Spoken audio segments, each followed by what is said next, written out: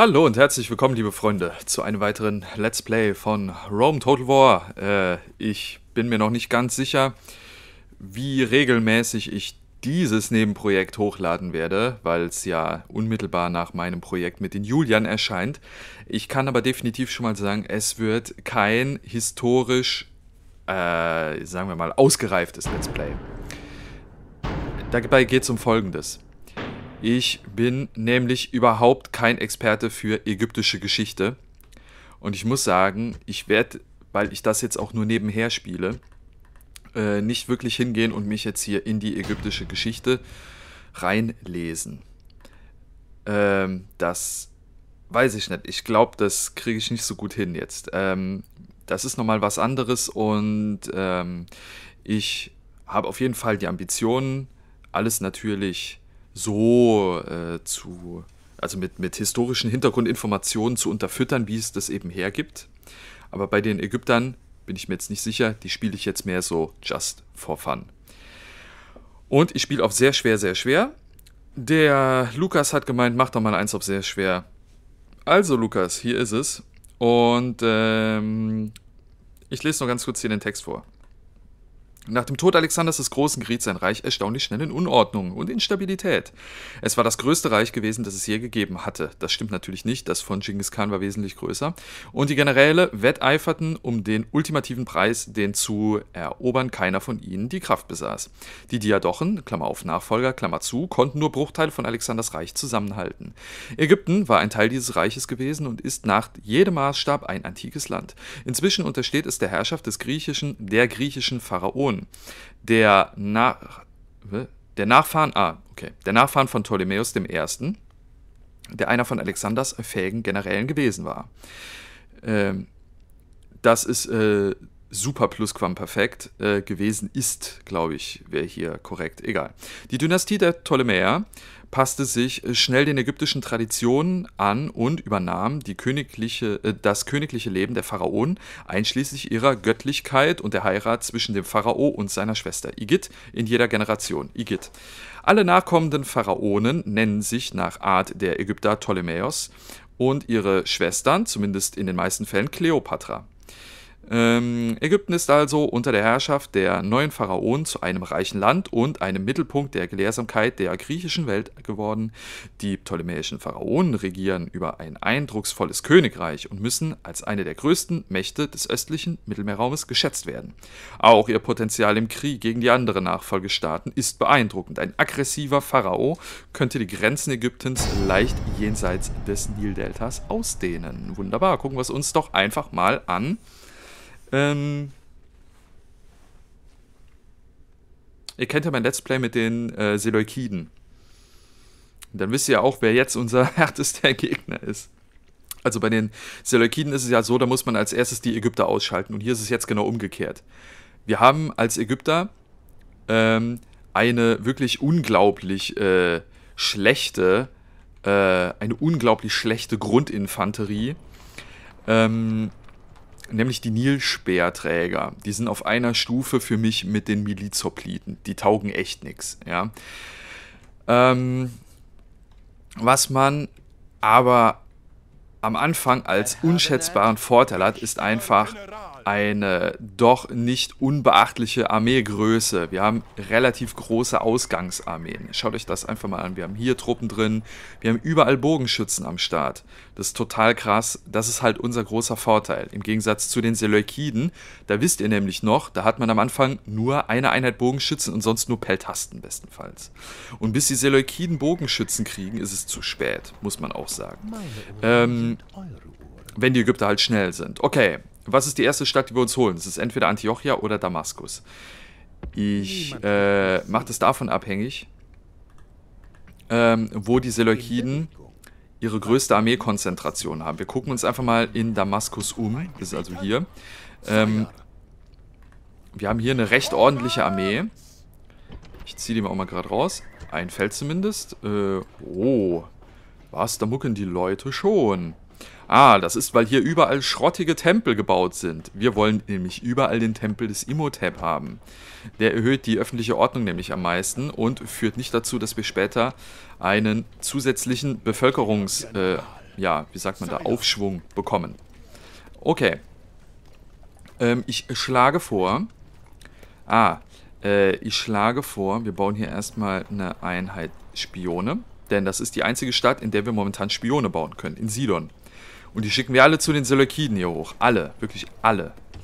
Ähm, hier können wir, das ist Jerusalem, ne? Äh, ja, genau. Aus Jerusalem könnten wir, wenn die Stadt wachsen würde, eine Stadt machen, in der wir Fernkampfeinheiten bauen. Und ich denke, das werden wir auch machen. Fernkampfeinheiten sind für die Ägypter sehr gut, besonders die pharaonischen Bogenschützen, die somit die besten Bogenschützeneinheiten sind, die es hier im Spiel gibt. Mhm. Die Frage ist, was machen wir mit dem Diplomaten? Es gibt eigentlich zwei Möglichkeiten. Die eine ist, wir schicken ihn hier runter nach Numidien und Karthago. Ähm, dann läuft er aber. Da kriegt er Weggeld. Das ist nicht so toll eigentlich. Die andere Sache ist, wir schicken ihn hier hoch zu den Patern, zu den Armeniern, zu den Griechen und zu den Pontiern und äh, zu den Seleukiden, aber die werden uns wahrscheinlich ihren eigenen Diplomaten da hochschicken. Ähm, denn die Frage ist ernsthaft, wozu brauchen wir Frieden mit Numidien? Äh, die werden so viel Trouble haben, ihre Provinzen zu verteidigen, dass wir uns Siva, so heißt diese Provinz hier, ohne Probleme holen können. Ich halte es erstmal für die beste Variante. Die Bauern, die wir hier drin haben, in eine der Städte im Nildelta einzuquartieren. Äh, ich glaube, die Kollegen hier, die können wir doch komplett alle rausholen, oder? Moment mal. Ähm, hm. Also deswegen würde ich sagen, ich will nämlich eigentlich hier oben Bevor ich anfange, hier Diplomaten zu bauen, will ich erstmal, lass mir gerade gucken, wann baue ich hier den ersten Diplomaten? Den baue ich hier früh, frühestens in zwei oder drei Runden. Aber ich baue hier wahrscheinlich erst noch Steinschleuderer vorher. Also Fernkampfeinheiten da oben sind wichtig. Da geht der Diplomat mal, der Diplomat könnte natürlich noch nach Siva gehen und in Siva erstmal das Handelsabkommen holen. Okay, nee, wir machen kleine Planänderungen. In der Regel kriegt man früh Rebellen im Nildelta. Äh, fällt mir gerade noch ein. Und dann ist es ganz gut, einen Diplomaten hier zu haben. Dann müssen wir nämlich keinen extra bauen. So. Hm, die gehen erstmal hier hin. Und dann ist die Stadt Alexandria immer noch mega happy. Ne? Ja, wollte ich doch gerade sagen. Okay. Und dann gehst du mit den Jungs hier mal an Bord. Komplett. Gut. Befehle? Dann gehst du mal raus hier aus der Stadt. Äh, dich würde ich nämlich gerne auch mit hier hinnehmen. Und äh, Memphis ist auch noch happy. Äh, da können wir auf sehr hoch gehen. Wir müssen überall auf sehr hoch gehen, dann schaut mal. 8% Bevölkerungswachstum. 6% Bevölkerungswachstum. 5%. Das, also 5% ist vertretbar, ja, das geht. Äh, damit kann ich leben. Aber mit 8%, Leute, die Städte werden so schnell wachsen. Die wachsen uns im wahrsten Sinne des Wortes über den Kopf. Ja. So, du gehst hier hin. Und die Einheiten hier, die sind zu weit weg, um hochzukommen. Da machen wir es ein bisschen anders. Ähm, mit denen könnten wir natürlich jetzt rausgehen. Und zwar hierhin. Befehle? Sire, stoßt fort. Ja, und die geht mal hier hin. Okay. Ähm, es gibt eine ganz wichtige Grundregel bei Rome Total War, die ich hier erklären möchte.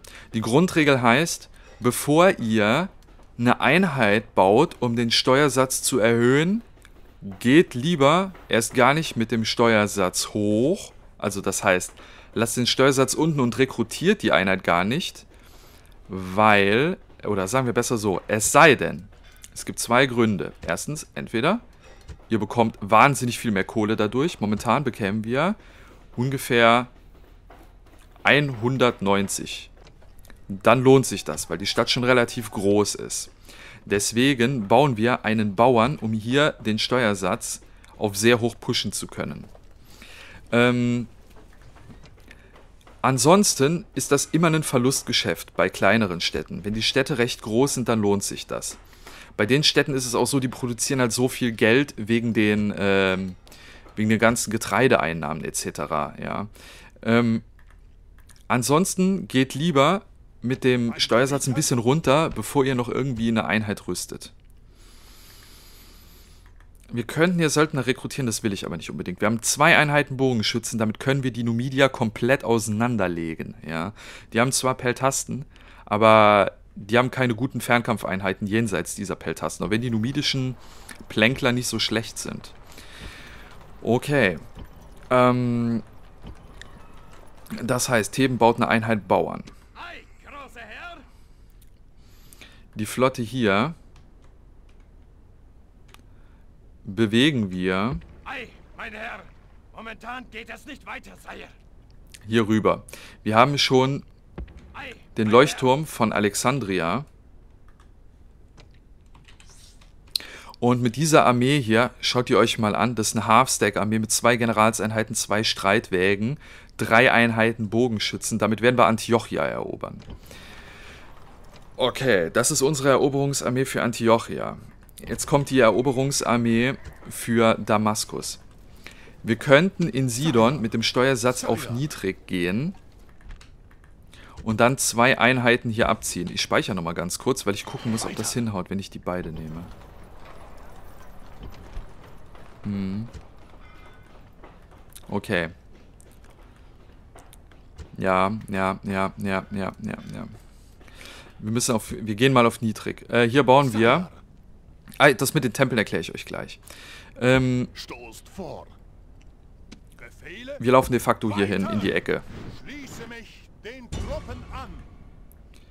Ähm, wenn wir Damaskus angreifen wollen würden, könnten wir das nächste Runde tun. Wir müssen aber erstmal gucken, ich, oder ich möchte erstmal gucken, was er mit diesem General macht. Ich fände es ganz cool, wenn er ihn drinnen lässt, aber er hat ja hier oben noch eine relativ dicke Armee bei Antiochia stehen und da müssen wir ein bisschen aufpassen. Okay, können wir hier mit dem Steuersatz hochgehen? Nein. 70% geht fast eigentlich noch. Ähm, wie machen wir es hier in äh, Salamis? Salamis wächst eigentlich ganz gut.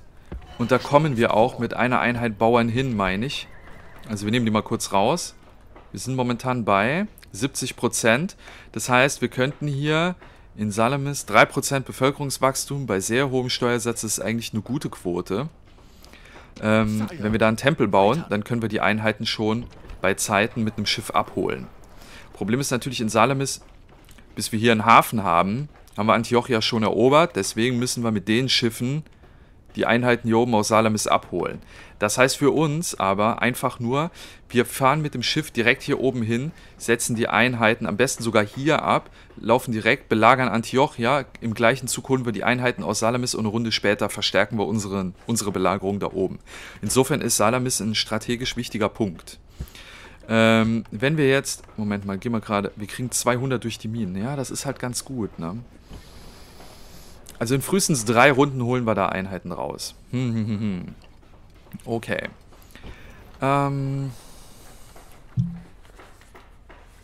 Das mit den Tempeln ist eine schwierige Sache und was man jetzt hier genau in Jerusalem baut und so. Und hier ist es auch nicht viel einfacher. Ähm, die Einheiten, die wir gerne hier unten rausholen würden, sind natürlich erstmal Fernkampfeinheiten. Ähm, ich zeige euch das mal kurz in der Gebäudekartei halt Onaga pharaonische Bogenschützen, da wollen wir hin. Und äh, hier gäbe es dann sogar schwere Onaga, die sind aber nicht ganz so entscheidend, aber da wollen wir hin. Und das geht natürlich am leichtesten in diesen großen Städten hier unten im Nildelta. So, hier haben wir einen. Hier haben wir auch schon einen Übungsplatz und eine Kaserne. Also hier können wir uns beides überlegen. Ich würde sagen, wir machen den Schützenplatz ausnahmsweise. Der bringt allerdings kein Geld. Moment bitte nochmal. Der Hafen bringt Kohle. Der Hafen bringt Kohle. So, okay. Ähm, kurze Unterbrechung. Gab es gerade. Ähm, ich denke mir, wir bauen die Wirtschaftsgebäude. Aber die Frage ist, ja, bauen wir zuerst die Häfen? Bauen wir zuerst ein paar Straßen?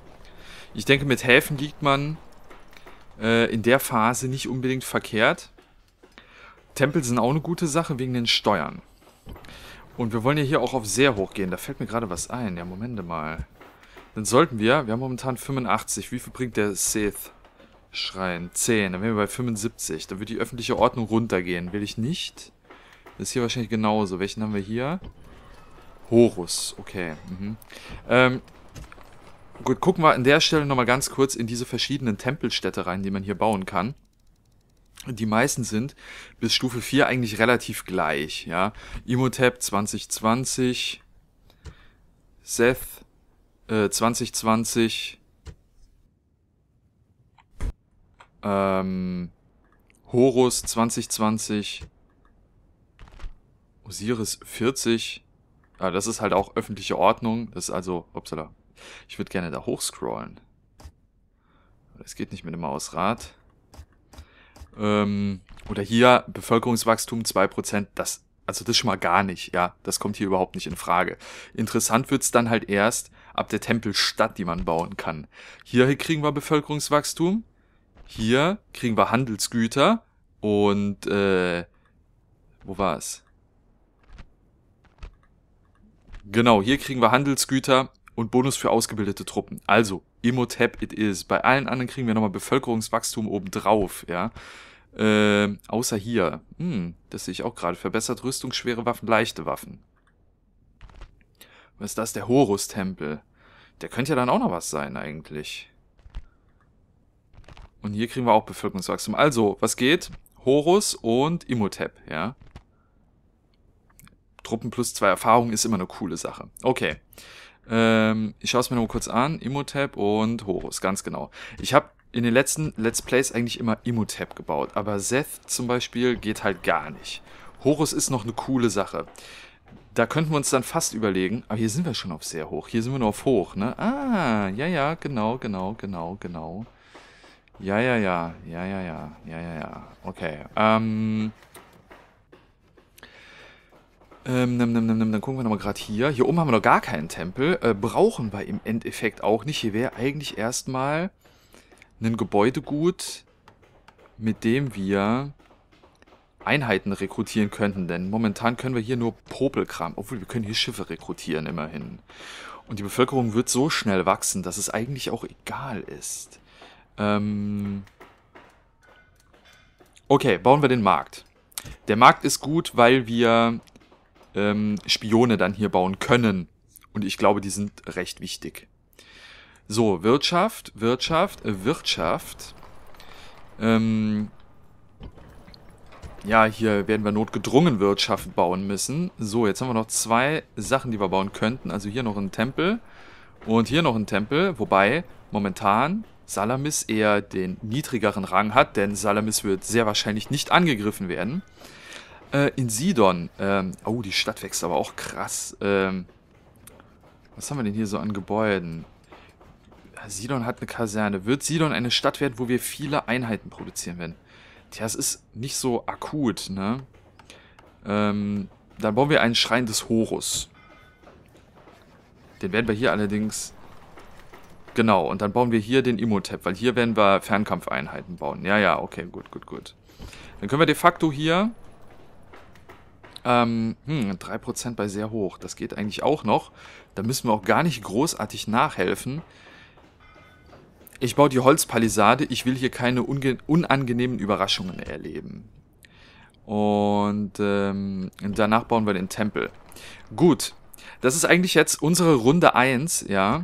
Ähm, was passieren wird, ist, wir verkaufen den Numidiern unsere Karteninfo, holen uns Handelsrechte, greifen die aber nächste Runde schon wieder an. Wir verkaufen den Seleukiden unsere Karteninfo, geben den Handelsrechte und greifen die nächste Runde an. Wenn sie noch nicht zu uns rankommen, das könnte ein bisschen problematisch werden. Die Seleukiden kriegen am Anfang normalerweise immer so viel Trouble mit äh, Parthien und mit äh, Armenien und mit äh, Pontus, dass sie auf jeden Fall kuschen werden, wenn wir denen nachher nochmal einen Frieden anbieten. Insofern vielleicht noch die Überlegung, hier einen Diplomaten zu bauen und den mit aufs Schiff zu nehmen, was ich jetzt nicht gemacht habe. Okay, gut, nee, dann ist es egal. Dann müssen wir das irgendwie ein bisschen anders regeln. Das hier wird übrigens noch ein Spaß nachher, dieses Schiff auszuwählen, weil man da immer automatisch auf den Leuchtturm klickt. Okay, ähm, ich weiß gar nicht, wie lang waren jetzt, äh, wie lang waren jetzt der letzte Teil? Da muss ich nochmal kurz nachgucken. Moment. Na komm, zeig mal. 14 Minuten. Ah ja, da haben wir noch ein bisschen Zeit. Okay. Ähm, dann werden wir gerade jetzt die Runde beenden. Und dann gucken wir mal, was passiert. Ich äh, will noch dazu sagen, an der Stelle, das, was ich hier euch äh, präsentiere, das sind alles nur Angebote an Strategien, ja. Wenn ihr sagt, ich habe hier eine viel bessere Strategie, die funktioniert auf sehr hoher, sehr hoher Schwierigkeitsstufe, genauso gut oder noch besser, dann schreibt es mir mal rein.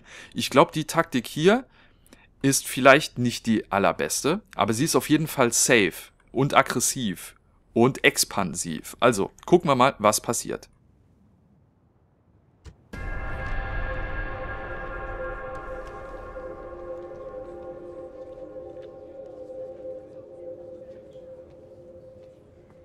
Das ist eigentlich jetzt ganz interessant. Ähm, das machen wir aber nicht.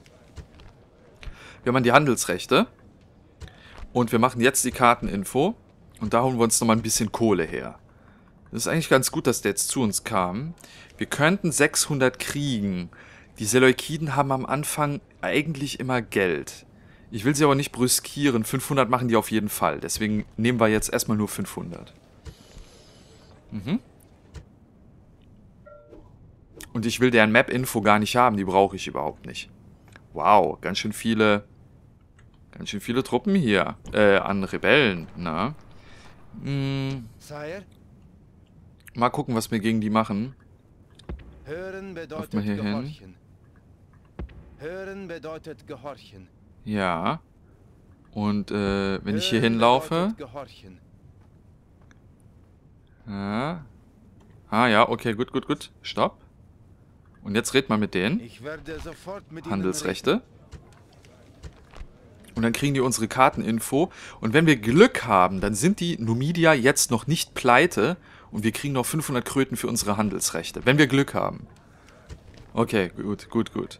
Denn das Problem ist in der Regel, dass die Numidia zu dem Zeitpunkt pleite sind.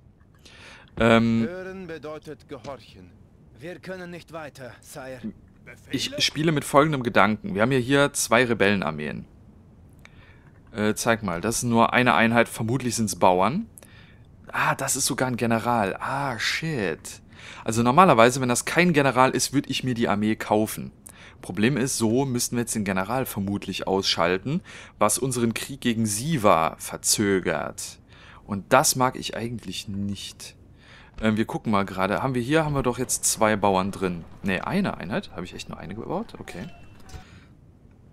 Hm, gucken wir uns mal den Baubericht an. Na, Salamis, Holzpalisade. Dann bauen wir jetzt... Äh, hm. Hm. Die Minen sind cool. Wir haben momentan so viel Geld. Okay.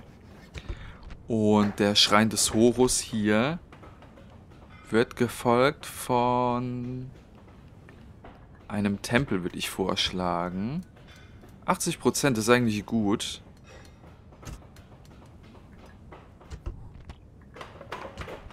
Hm, okay. Ähm... Wir sind auf sehr hoch bei 85% öffentlicher Ordnung, das ist gut. Hier bei 105 und jetzt bei 80, das ist auch noch in Ordnung. Mächtiger General. Ich will das eigentlich nicht.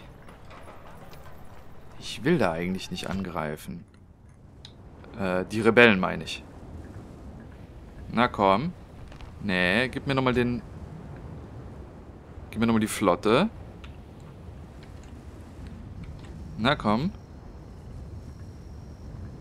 Komm, ich klick doch drauf. Ah, Junge. Oh, Junge.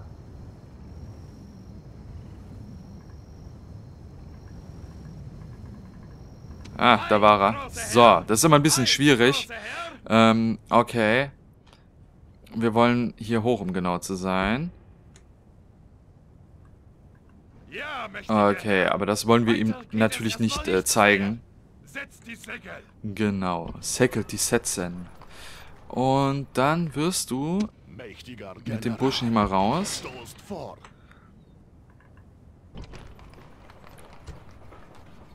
Und du holst mir hier äh, noch eine Einheit Bauern. Denn jede Einheit, die kämpfen kann und besser ist als ein Bauer... Ah ne, Moment, der geht nicht. Den kann ich hier nicht erholen. Ich brauche hier einen Agenten. Ich brauche hier noch einen Spion. Ähm, wir müssen uns, das ist auch eigentlich ein Grund, warum wir uns Damaskus holen müssen. Wir brauchen eine Stadt, in der wir noch Bauern rekrutieren können. Und dafür wäre Damaskus eigentlich quasi prädestiniert. Also, das sind die Einheiten aus Damaskus gewesen, wenn ich mich richtig erinnere. Genau, und hier ist jetzt nur noch der General drin. Der General ist schwach. Also als einzige Einheit ist er schwach. Da hat er keine Chance gegen den Typen. Gegen den, äh, Dingsbums. Ne? Ähm, ich denke, er will die Truppen nach Antiochia reinziehen. Wir haben 100%, das brauchen wir aber nicht. Wir könnten... Ich würde sagen, wir laufen mal kurz hier hoch. Hier oben kommt nichts, okay. Wir haben 93%. Ist die Frage, ob wir es uns momentan leisten können, an der Stelle schon einen Spion zu verlieren. Ich denke eigentlich nicht. Wir brauchen ihn. Auf jeden Fall. Und wir gehen noch ein Feld weiter vor, direkt vor die Stadttore. Hier sehen wir jetzt auch, was er in seiner Hauptstadt drin hat. Das ist auch nicht viel. Ähm, was ganz gut ist, bis er die Truppen aus Seleukeia bei uns hat, haben ihm die Pater schon die Stadt genommen und er hat nur noch zwei Städte hier oben, mit denen er verteidigen kann. Denn Hatra ist hier oben und Hatra ist so weit weg, der kommt nie wieder rechtzeitig an. Okay, also gehen wir hin. Ähm, wir brauchen die nicht unbedingt hier. Also wir müssen, obwohl es ist eigentlich ganz gut, wenn wir ihn hier haben, ne? Ah, da schauen wir einer an. Okay, wir greifen an. Ja. Ja. Ich weiß, und nächste Runde haben wir noch eine Einheit Nubia dabei. Sehr geil. Okay, Krieg. Rundenbericht gucken wir mal kurz. Steuern sind unterhalb äh, der Militärausgaben. Das sollte natürlich noch nicht so sein, aber wir werden bald noch verstärkt Handelseinnahmen haben. Ja, also, die Sache ist hier jetzt. Ähm, das Territorium ist sehr weitläufig. Wir könnten das Problem haben, dass die Numidier hier viele Einheiten rauspumpen. Euer ergebener Diener. Das ist echt ätzend, dass hier jetzt ein General dabei ist. Also diese diese Truppen hier, die werden in der Regel zufällig zusammengewürfelt. Und wenn das jetzt eine zufällige, als wenn das jetzt eine Armee ohne General gewesen wäre, hätten wir hier gute Chancen. Ja, mächtiger Herr. Aber so... Das wird nicht gut, das wird nicht gut. Okay, wir gucken mal gerade, was er da für Einheiten drin hat. Das sind Bogenschützen. Na, ja, zieh dich mal zurück. Mein Gebieter? Die Bogenschützen würde ich dann gerne doch bestechen. Die sind zwar wahrscheinlich teuer, aber ich kann sie momentan noch nicht bauen. Und, ähm...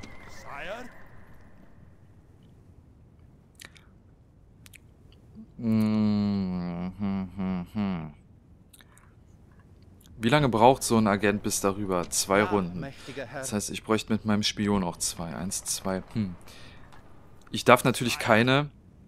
Okay, wir geben den Numidian. Okay, Leute, ich bin jetzt so geisteskrank. Ich gebe den Numidian noch ein bisschen Zeit. Wir greifen im nächsten Part Alexander Neos Dionysos an. Und dann wünsche ich euch alles Gute. Ich hoffe, ihr seid beim nächsten Part wieder dabei. Wir haben noch eine ganze Menge zu tun. Gibt noch viel Arbeit. Es wird keine einfache Sache, aber ich bin zuversichtlich, dass wir das hier gut schaffen werden. Also, bis dann. Macht's gut. Tschüss.